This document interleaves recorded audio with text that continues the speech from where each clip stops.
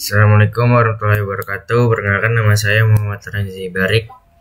Kali ini saya akan baga apa mencari tahu apa bagaimana cara membuat seperti yang dari ini. Yang pertama itu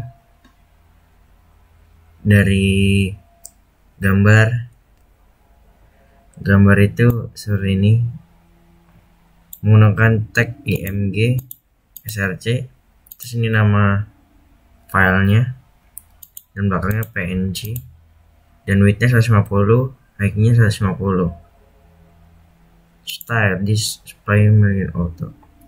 Ini untuk mata tengah kalau bawah dan ini seperti ini. P itu untuk paragraf B itu untuk menebalkan seperti ini. Dan red untuk membuat link. Nah ini seperti ini. Kita geser. Target target. Nah. Yang kedua adalah cara membuat ini. Eh, enggak. Ini ada garis dan garis itu tinggal HR yang ini membuat konten coba dengan H1 tutup kurung contents dan H1 dan membuat ini story style background dulu. Kita membuat background ini berwarna biru berwarna hijau ini. Dan stylenya. Dan menggunakan tag li awalnya OL dulu supaya bisa ini satu dan belakangnya OL ini supaya bisa membuat seperti ini. Nah yang ketiga membuat ini sama ini OL nah. Yang membuat garis sama seperti tadi HR eh IHR dan history.